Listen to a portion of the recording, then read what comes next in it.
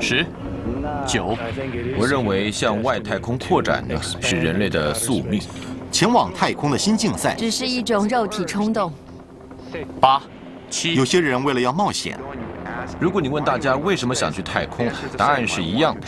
我想要体验无重力状态。你想要四处漂浮几分钟，而且好好享受一下。我想看看这个景色。六、五，有些人会发现每一个梦都有梦夜的阴影。太空是一个不适合人居而且危险的地方，因为我料想太空站会有重大破裂，空气会喷流出去。其他人想去发财，我们真正需要的是太空里的加油站。四、三，但是有人要寻找我们在宇宙里的地位。我们随时都会收到信号。我们窗户外面有巨大的天线，我们有很精密的收报机。我们当然随时收得到信号，每隔几秒钟就有一个信号。二、一，在新世纪的开头，太空再度使人兴奋。我认为今日的我们正在进入太空旅行的黄金时代。我当然想造访月球，太空，我也想要向下望地球。以下可能是古往今来最伟大的旅程。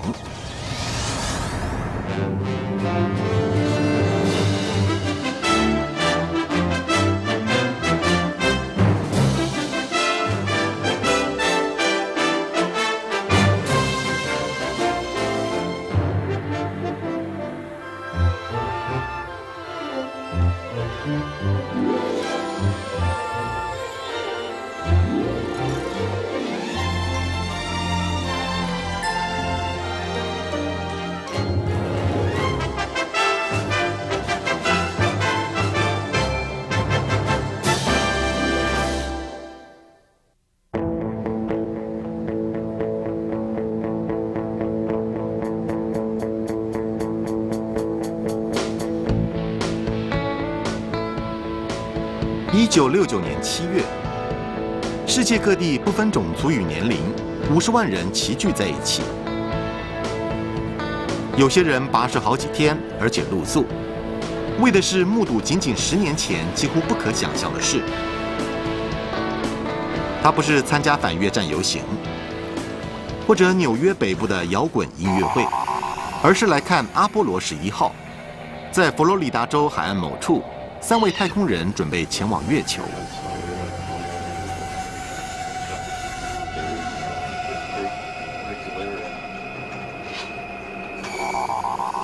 在几分钟后，他们就要展开人类史上最大的冒险。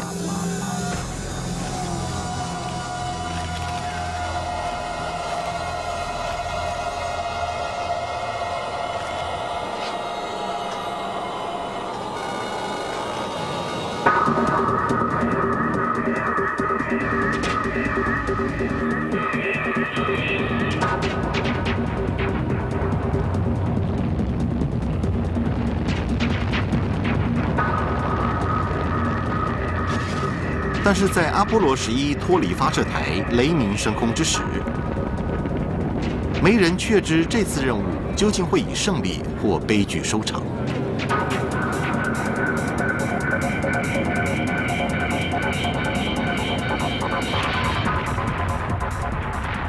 旅程的每一步都充满危险，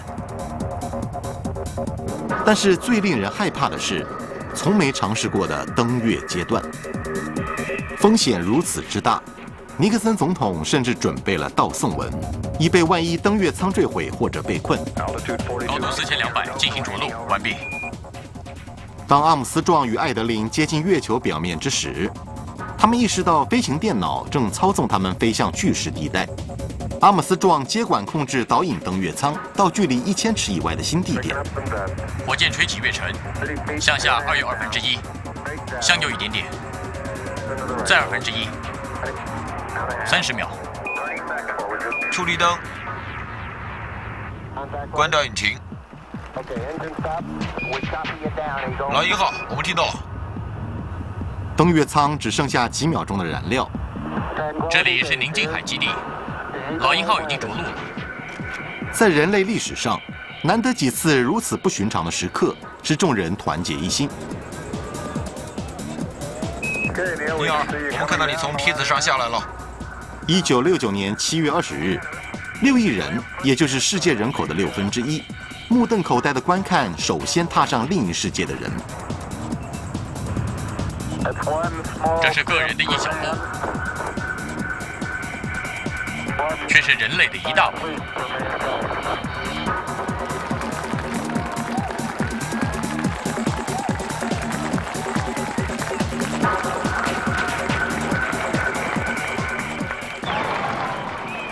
这是太空探索的光辉日子。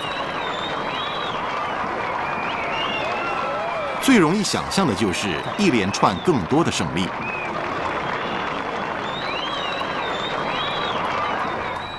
但是有些事情改变了，我们失去兴趣了。在首次登月之后仅九个月，电视网播出肥皂剧，而不转播阿波罗十三升空。等到发生爆炸，而且生死交关，才取得我们的注意力。休斯顿，我们出了问题。十三，请待命，我们正在检查。阿波罗十三安全返回之后，太空计划似乎又从公众面前消失了。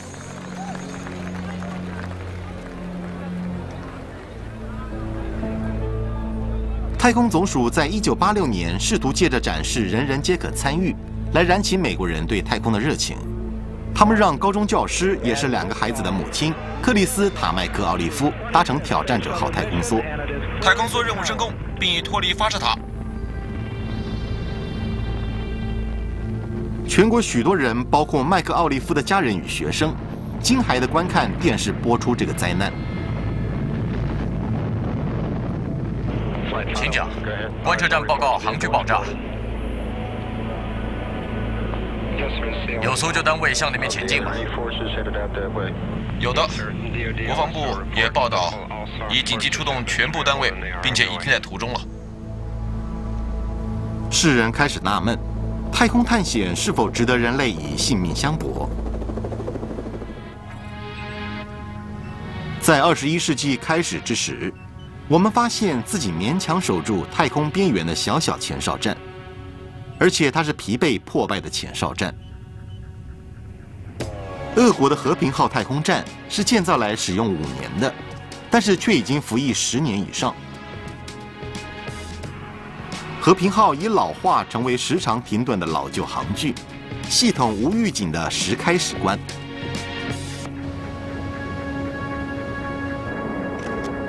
美国太空人将会发现。和平号不只是反复无常，它简直就是危险。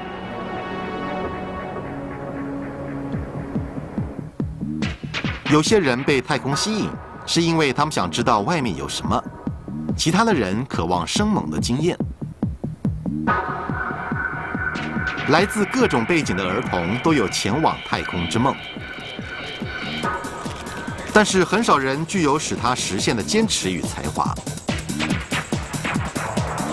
此刻让我回想起大约六岁的时候，我决定要成为一位太空人。仰望你的火箭，每次一想到它，就使我莫名的兴奋。太空总署太空人麦克福尔在英格兰长大，父亲是皇家空军飞行员，母亲是美国人。儿童时代造访美国的时候，福尔看到全国巡回展示的约翰格伦太空舱，从那一刻起，他就想一飞冲天。福尔获得录取1987级的太空人学校，他甚至在这一群精英之中也是杰出的。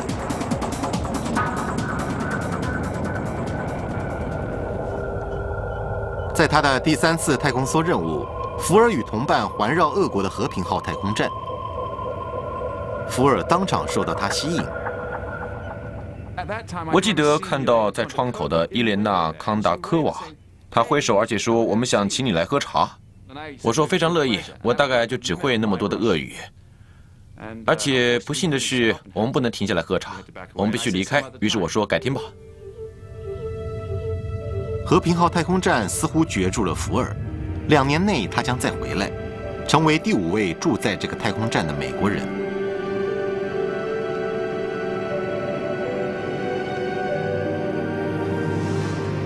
驻站的四个多月。福尔将体会到和平号是一个梦想与现实互相抵触的地方。他将经历到太空的可怕以及神奇。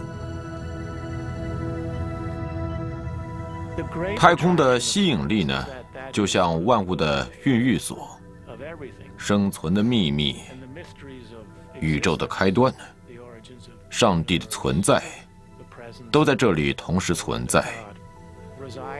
我想进入太空或研究太空的动机，是尝试从宇宙的角度来了解我们住的地方。由于一名科学家执迷于人类在天空的地位。使他来到波多黎各的偏远山丘。休士达每两年要到一座超大无线望远镜天文台，听取外太空生活的迹象。资金的锐减及多年来听取的都是假警报，并没有阻挠修士达。对他来说，追寻是无法抗拒的。就像萝卜在你的眼前，而且似乎越来越大。每年我们研究的时候用的器材都会好一些，我们就可以多看一些星系。如果没有合理的希望，我是不会做的。我这一生要找到一些讯息，能够透露出我们想知道的秘密。我们是孤单的吗？外面有谁或什么？他们和我们相像吗？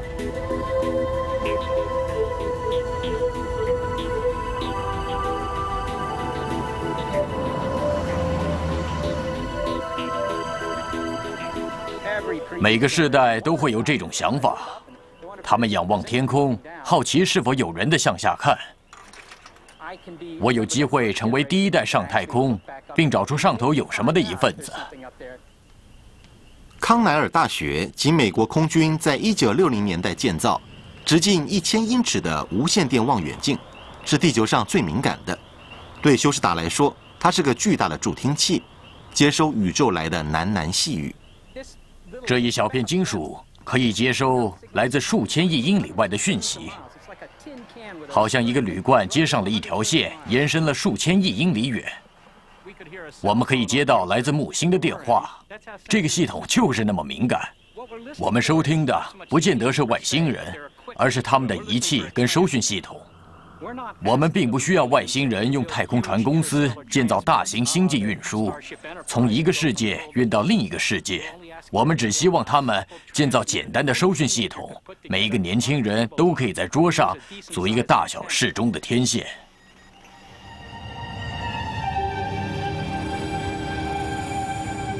在初次见到和平号之后两年，福尔加入俄国组员，展开四个半月的任务。他是接替急着离开的美国人员杰瑞里南吉。麦克，欢迎你来到新教。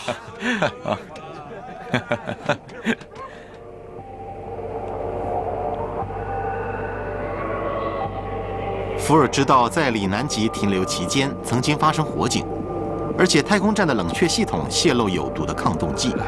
舱盖关上，呃，我心里想，我终于上了呃和平号。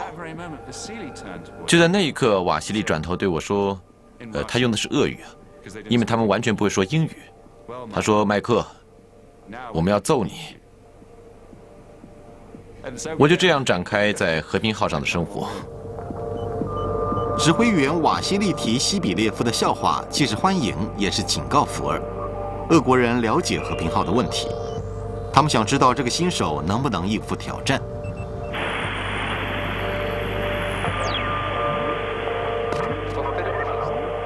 这真是个适当的警告。福尔参加了历史上最害人的任务之一。在太空中，生死分际只是一线。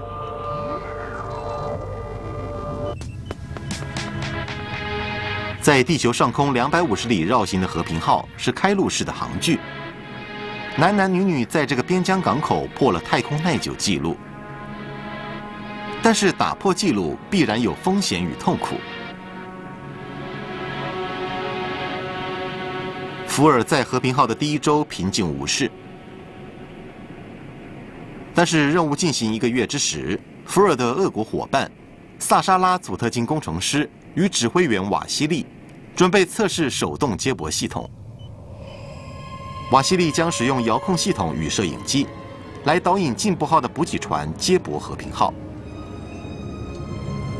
但是当八吨重的补给船越靠近，就越难以追踪它。瓦西里在盲目飞行，他呼叫他的同伴，要他们透过和平号窗户寻找进步号。福尔与萨沙根本看不见接近中的补给船。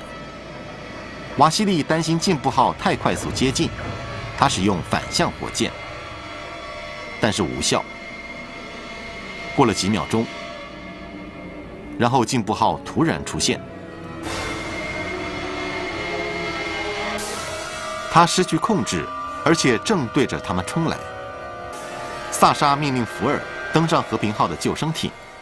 于是我从气锁舱的后部漂浮到救生艇，我感到大力撞击，空气开始喷出和平号，然后我感觉耳朵里面气压下降，我心想这漏气很严重。肾上腺素分泌非常强，因为我料想太空站严重破裂，空气会流出去，基本上呢，你可能会被吸出去。我立即想到，我们应该离开太空站，我们全部都该进入救生艇，就这么回事。和平号的气压警报响起，如果他们三十分钟内不能封漏，福尔与伙伴就必须撤离。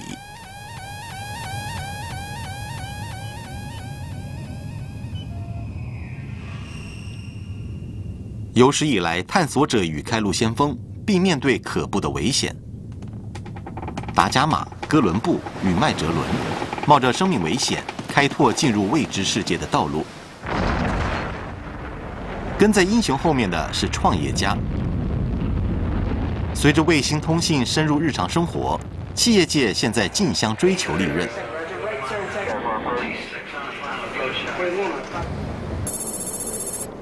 把卫星送进轨道是高竞争而且高风险的事业。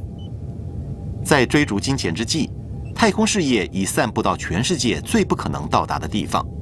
如果谈到发射卫星，法属几内亚热门极了。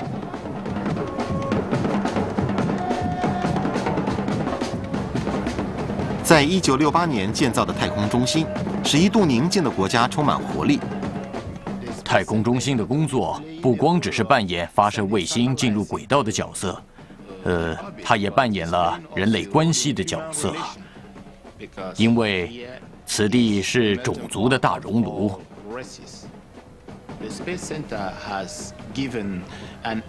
太空中心可以说是几内亚经济的呃强心针。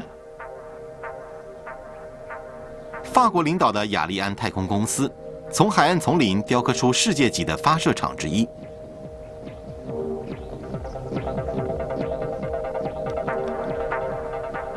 我们位在法属几内亚的原因是，因为这里是全世界最好的发射商用卫星的地点。从距离赤道较远地点发射的竞争者需要较多燃料，推送筹载进入人人想要的赤道上方轨道。从法属几内亚的库鲁发射，卫星进入赤道轨道的路径较短，也较便宜。我们拥有最可靠的发射器，五年来没有失败过。我们每个月发射，一年大约发射十二次。需求不断增长，雅利安太空公司需要好几年才能消化累积的发射需求。我们在纽约签约的时候，卫星同时送往库鲁。卫星的发射器已经准备好了，在我们准备发射器的时候，也在组装另外一枚发射器。第三枚发射火箭的零件正从欧洲运往库鲁，所以呢是持续的全年二十四小时发射活动。我们带你的顾客来库鲁实际观看发射。呃，我们带你的工程师来处理卫星，而且我们从地球到太空呢，呃，全程服务，那就是我们的事业。在新的太空竞赛中，顾客第一。于是雅利安太空公司已经精通美酒盛餐的艺术。有人要搭船游丛林吗？在参观一天之后，现在是办正事的时候了。把价值几亿美元的通信卫星放在赤道上方两万两千里精确的位置上，在发射的那一晚，客户聚集在安全距离，轻松观赏这场大戏。在库鲁做现场直播，不论你来自何处，向各位问好，并欢迎来到库鲁。这是今晚现场直播雅利安公司第一百二十六号发射泛美银河号卫星。今晚是新年第一次发射。希望各位继续收看。地勤人员有压力，要维持一长串的成功。我必须说，这是非常令人兴奋的行业。每个月一次，有这种巨大的东西飞进太空，而且有这么多的人在努力。卫星发射准备已经就绪。十、九、八、七、六、五、四、三、二、一、零。点火，升空。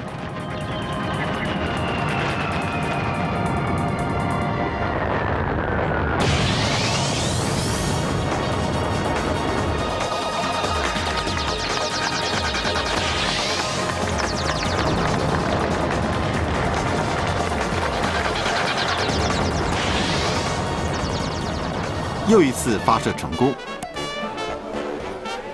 于是热烈展开宴会。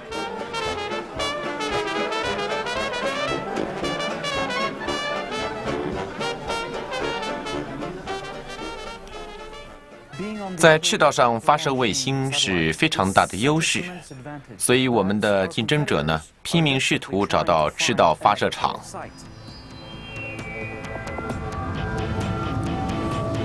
为了与雅利安公司竞争。一个秘密的敌手将会前往地球上最偏僻地点之一，使用零零七电影才有的不寻常装备。他们将会创造自己的赤道发射场，就在太平洋的中央。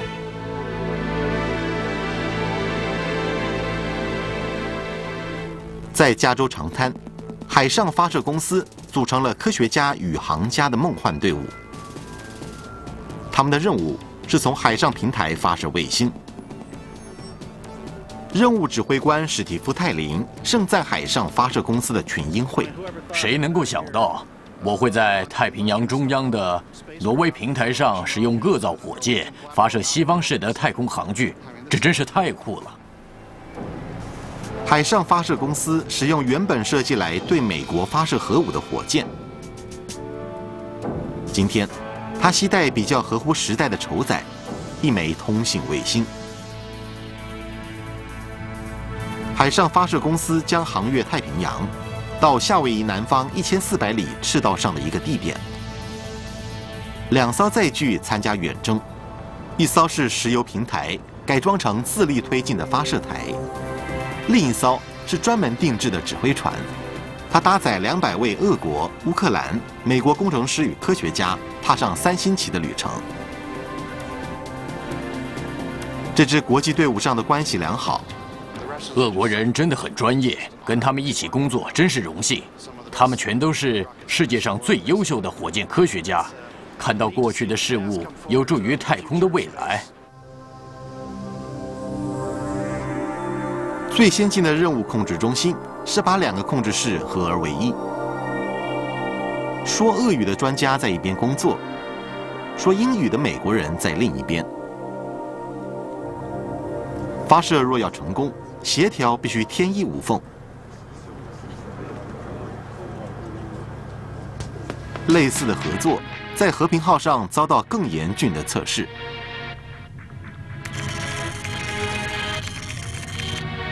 因为碰撞使气压下降，两位俄国人与一位美国人几分钟内必须关闭破裂的舱室，否则就得弃船。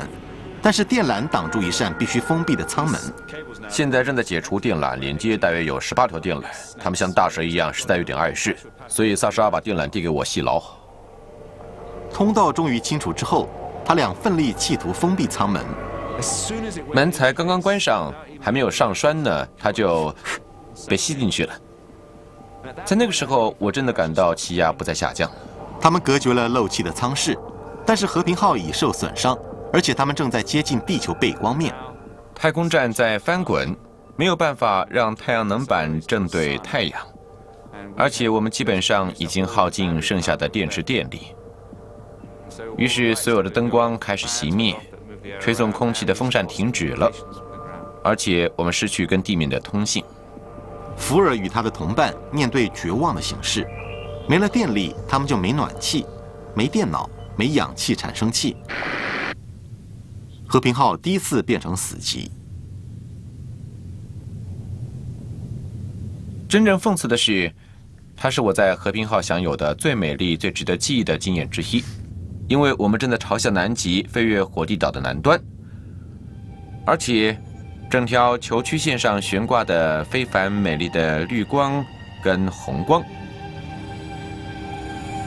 我们就那样飘在窗前，不发一语。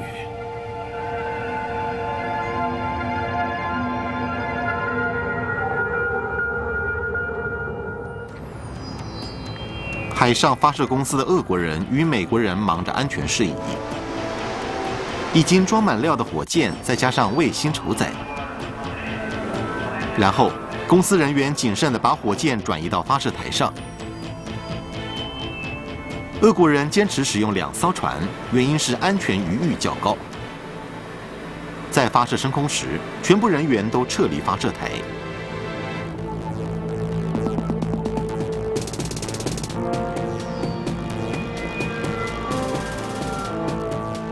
火箭安全的躺在发射台的库房里。他们现在准备要旅行三千里到赤道去。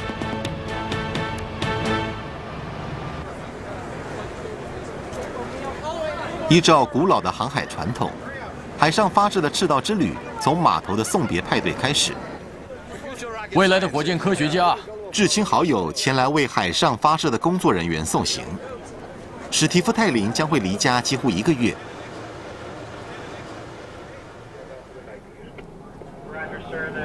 两艘海上发射的船出发前往赤道。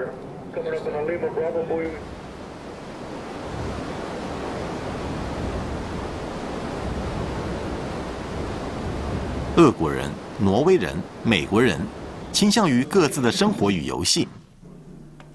餐厅提供多族群烹调，每一群都被自己的餐食吸引。挪威船长托马德·汉森起初怀疑这趟跨国的计划。当初我一听说的时候，我认为它是个笑话，我没把它当真。俄国火箭发射搭载美国卫星，呃，综合美国与俄国科学家，还有挪威航海人员，这样的组合，我认为那有一点不合现实。但是出海十天之后，一切都进行顺利。海上发射正在接近目的地，人人心意相同，全都专注于发射他们的火箭进入轨道。发射台现在恰恰在赤道上，没有更有效率的发射地点可供达到赤道轨道。我们有非常精确的定位能力，发射台正好在赤道上。你在这里可以说是横跨赤道，从船的一端走到另一端，而且越过赤道。巨大的邦普以一万九千吨海水灌进平台的浮筒与支柱，平台下沉七十尺，在浪涛中稳定下来。工作人员从库房移出火箭到发射台的甲板上，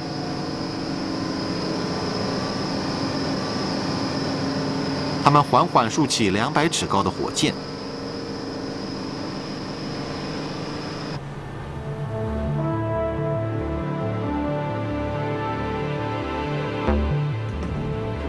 有一条桥连接两艘船，发射台的人员现在可以撤离，准备在晚间发射。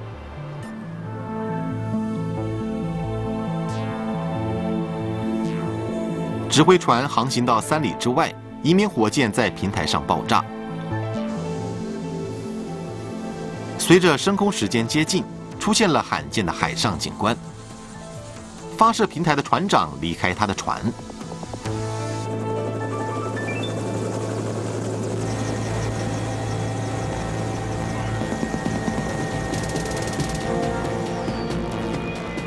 泰林与他的国际队伍重复的检查每一个系统。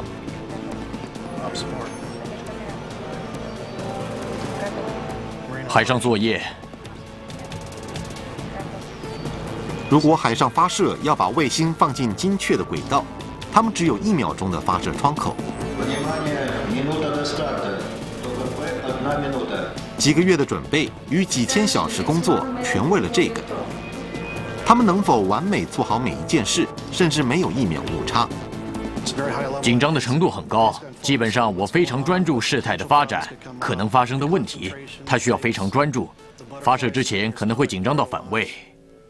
十、九、八、七、六、五、四、三、二、一。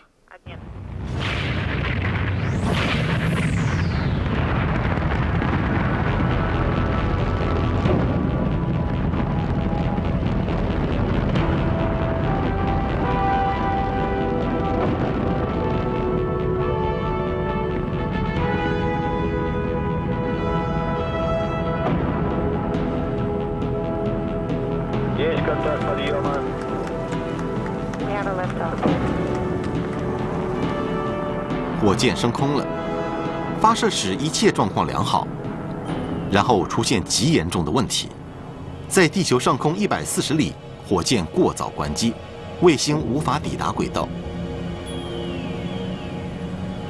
软体瑕疵可能造成单一个阀门保持开放，使任务失败。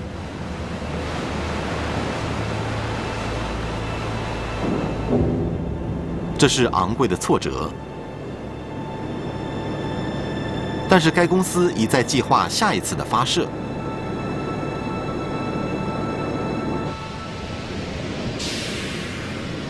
关于火箭，没有容易的事，抗拒重力仍是艰难的挑战。许多人追寻极新奇的点子，前往太空。几个月前呢，我受到物理学家提一大堆奇异疯狂的机制给太空总署，将来可能载入到临近恒星的先进推进系统之用。呃，我偷偷笑了一下。这些严肃的物理学家提出认真的提议，盲目尝试，因为我们要去遥远的星体，可能就要靠这种精神。就像其他希望革新太空旅行的人一样，推进物理学家里克米拉布很早就受到启发。史波尼克号与回声号大约在同一年飞行。我祖母半夜把我叫起床，带我到外面指给我看最早期的卫星之一从上空飞过，那太令人惊奇了，那是个惊人的经验。受到太空总署支持。米拉布前往莱特派特森空军基地，他将在这里测试镭射光束能否推动特制布料飞越太空？Science fiction writers have been writing about laser sails.。在科幻作家的书中，已经提到了镭射帆，直径几公里的巨大超薄帆，就像覆盖反光表面的蜘蛛网。我们实际测试五种镭射帆新材料，不过这些帆不是很大，它们大约直径只有两寸。但是我们在做的是使用一万到十万瓦镭射照射它，这是非常恶劣的环境。坦白说，我们不知道这些材料能否存活，除非你实际做这样的实验，否则你不知道你的进展，所以极为令人兴奋。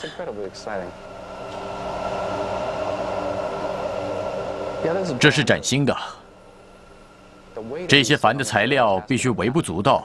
我的意思是薄如蝶翼的东西。它会烧掉吗？会不会变成灰烬，掉落到真空舱的底部？我们不知道，但我们试图模拟太空环境，舱底抽到极低的气压，以模拟太空。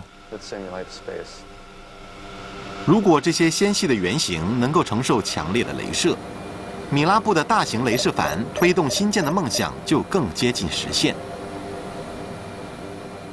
第一次测试，第一号钟摆，准备发射。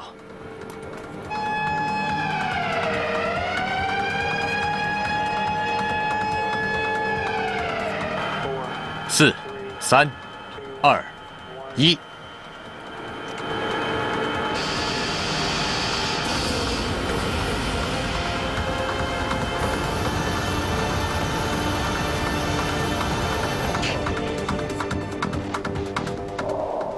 难以置信，他行得通，仅靠光的力量就推动微型光帆，而没有烧掉它。很好，太好了，有这样的成果，我很高兴。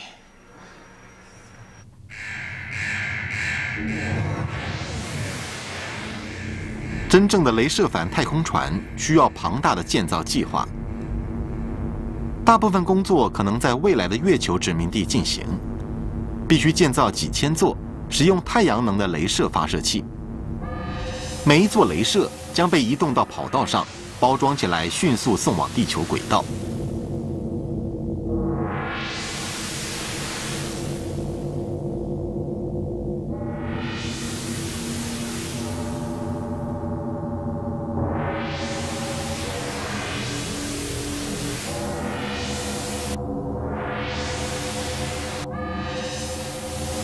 列着强大磁铁的滑轨，加速镭射器材脱离月球重力。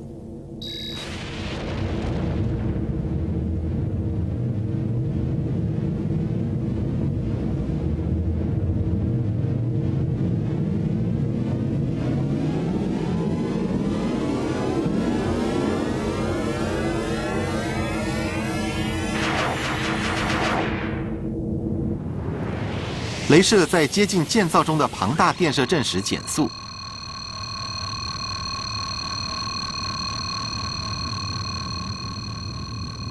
工作人员安装新的镭射就位，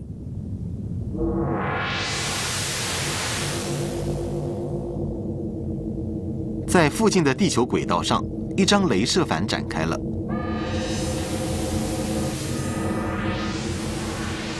直径半里的它，可以携带探索其他世界的机器人航具。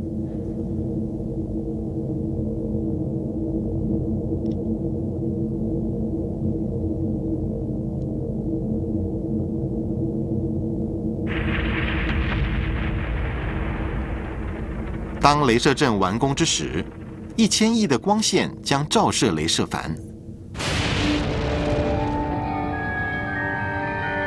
从镭射反反射的光线推动航具缓缓前进，并逐渐增加速率。它飞越木星，在旅行好几年后，它以近乎光速的速率接近另一个恒星。在接近任务终点之时，携带探测的火箭较小的帆将会分离。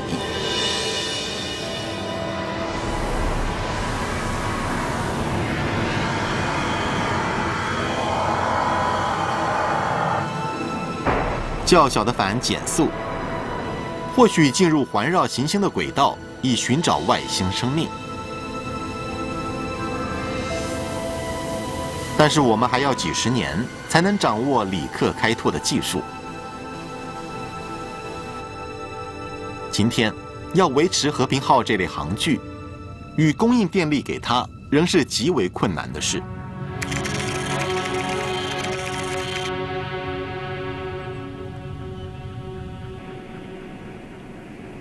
在封闭和平号破裂的舱室之后，福尔与同伴的最优先工作是恢复它的电力。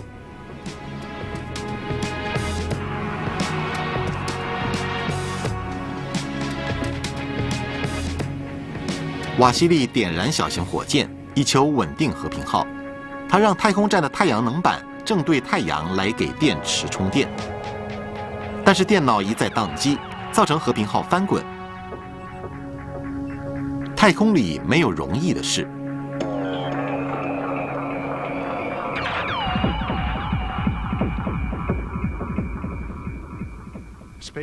太空不适合人居，而且是危险的地方，比我们在地球上历经的任何地方都要危险。地球上很多地方曾经使人丧生，例如攀登圣母峰，有很多困难要克服。哥伦布航行大洋之时，他只需要担忧风暴；太空人要担忧辐射风暴，微陨石可能穿透他们的船身，他们要面对各种未知的危险。在和平号上，组员渐渐疲惫，他们似乎遭到诅咒。他们每解决一个危机，就发生另一个。萨沙意外扯掉电脑插头，使和平号再度翻滚。俄国地面控制人员决定，此时应减少工作负荷。我们真的稍感轻松。我们还看了一两部电影。我们在七所室一起看《阿波罗十三》，由我翻译。在和平号的任务接近结束时，福尔仍然没有免于忧虑。一九九七年九月二十七日，他观察亚特兰提斯号太空梭接近。虽然我该放轻松，而且期待他抵达，但是我开始很紧张。万一他因为电脑问题而不能拨接，而且带我离开。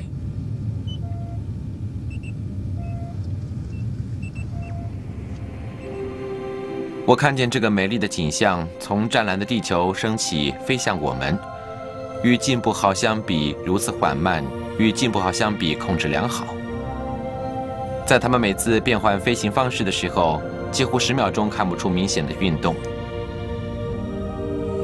完美的连接到我们的拨接舱口，我猛然间极感宽心。在那一刻，我知道我回家了。家。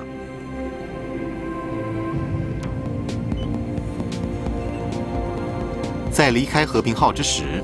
福尔对他的蒂尔家乡做可能是最后的一瞥。经过骇人的四个多月，在太空挑战耐力与勇气，福尔现在希望顺利回到地球。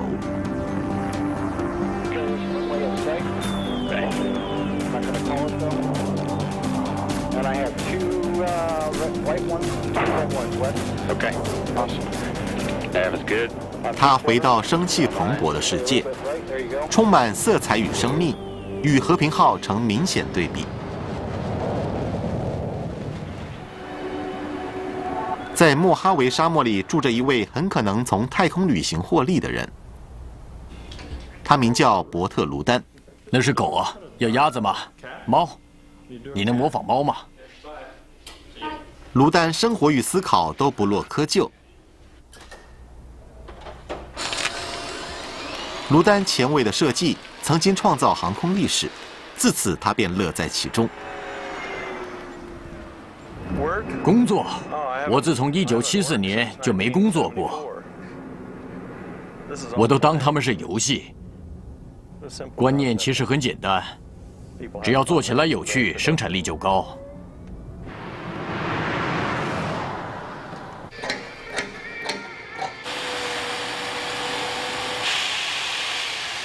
卢丹经营一家设计与制造先进飞机的公司。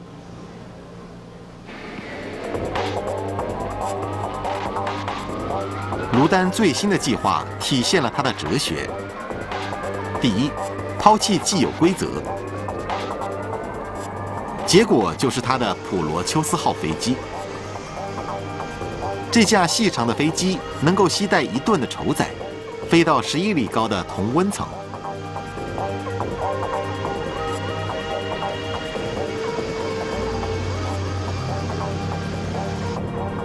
普罗斯将来可能携带载人的火箭航具。当飞机抵达高空时，航具可以脱离，以自己的动力冲轨道，然后滑翔回到地球。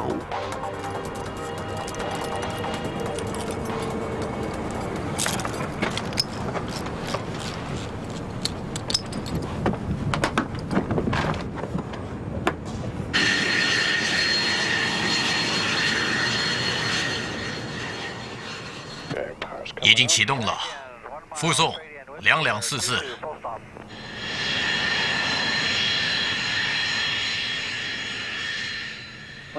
情况良好，动力良好。我要让油门定在那里，控制灵活，感觉良好。旋转，起落架，速率最好保持一百一。如果你的雄心是做次轨道飞行，你就应该去高空，让那些想去的人，我也想去，看看从轨道上看是什么样子。然后你应该漂浮几分钟，享受这种无重状态，带着你的宠物猫或者爱人，或者做你在无重的时候任何你想做的事，你在地球上无法做的事。但如果你是单身，而且没有猫，你在轨道要做什么呢？谁想当第一个边啜饮马丁尼酒边从轨道看地的人？说不定真的有人想这么做。我没有足够的钱这么做。如果我有钱呢，我就一定会做。但问题不是某些人有没有钱，而是有没有足够的兴趣维持，并且驱动业界发明相关技术。记得有人问同样的关于空中旅行的问题：究竟为什么要那样做？那会有什么实用性呢？这个太空观光的想法是使经济动起来的机会。好几千次的发射升空，钱滚滚而来。有人设计新型载具，降低价钱。我们从次轨道进而轨道飞行，然后是开饭店，然后到月球。这是绝佳的机会。各位早安，我是彼得·戴曼迪斯，X 财经的董事长。戴曼迪斯提供一份奖励给二十一世纪的林白。我们在寻找新一代的火箭科学家，他要能够制造并且发射我们可乘坐的载具到太空。我们想把它坐在这上头，然后这里放降落伞。他将颁奖给任何一位小朋友，只要他能设计一个水上火箭，载着脆弱的乘客，一颗生蛋，平安地回到地面。我们想让孩子们有机会动手做，体验一下竞赛精神。学习如何做这些火箭，投入其中，并且举一反三。看到这些设计真的很棒，特别是老师并没有给他们任何的答案，他们的设计呢，都是他们自己实验，或者是发挥想象力的结果。看到他们设法让自己的蛋生存下来，真是令人敬佩。你要将杯子放在这儿吗？整整九码的距离。他们要设计能够让蛋平安存活的载具。并了解到，如果坠毁，蛋就死了。来自他镇不同学校的学生为即将来临的比赛制造火箭。甲基也做了家庭作业。太空使我感到很惊奇，我学到了关于月亮的事，那很吸引我，因为我学到月球上没有风。嗯，阿姆斯壮的脚印还留在那个地方。我还学习到陨石坑，还有它们是如何形成的。迪士尼的航行家已经完成了。发射的日子到了，现在我要请各位将你们的太空弹放到火箭上，在我们准备发射之前，你就要完成它。发射台和燃料准备好。好了，每个人把自己的太空弹还有燃料准备好。这些未来的火箭专家试着保持很冷静。开始了。独特的设计造成了独特的混乱。这些在太空总署是很常见的。之前太空梭曾因为某些问题而延迟发射。发射台上的火箭安全。所有的系统检查无误，发射指挥官会收到绿灯。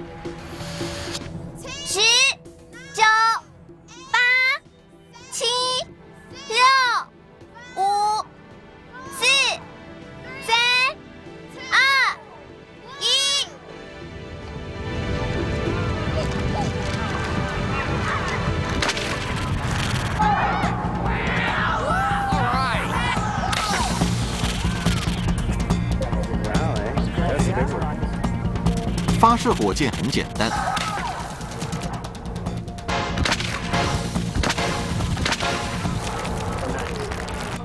打开，打开！降落才是困难之处。抱歉各位，今天的教训是，要成为一个火箭科学家，必须先跌破几颗蛋。太好了，降落伞打开。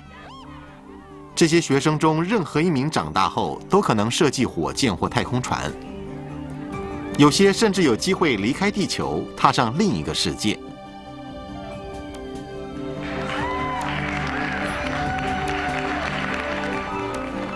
不管我们登月的动机为何，都可以在这些孩子的身上找到。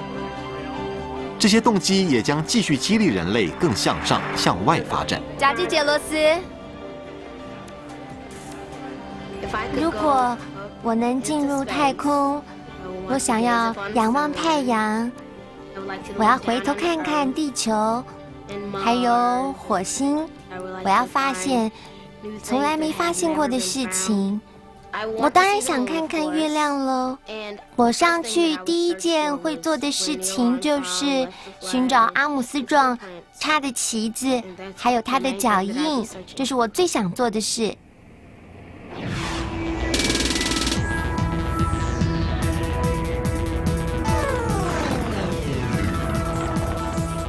就探索而言，我认为在五十到一百年内，我们必然会在月球上有设施。我们在那里会有工厂，我们会有人住在那里，当然也会有饭店在那里。我们在火星会有第一批真正自给自足与蓬勃的殖民地，但是真正令我兴奋的是，会有独立的社会，不在星球上，而是自由的太空殖民地。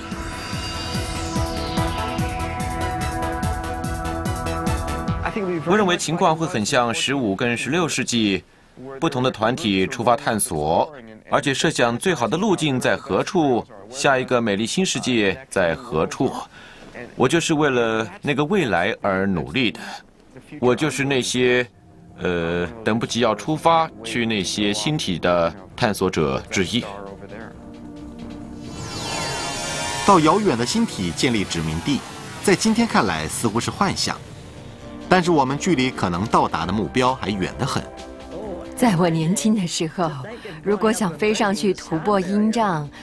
那就是绝对不可能的，我们永远都不可能突破音障，所以你知道的事情会变的。过去有人问人类能不能登月，大家都会说太荒唐了。但是人类已经去过月球了。跨越银河是我们的宿命吗？如果登月曾经是不可想象的，还有哪些高远的雄心明天可能成真？我们已经展开惊人的旅程，它将带着我们超越我们想象力的边界。我们正进入一个即使梦想家也想不到的时代。宇宙观使我们日益明白，我们在宇宙里是多么的渺小，多么的脆弱，以及宇宙是多么的庞大与壮丽。那可能听来有点消沉，对我而言。这只是暂时的消。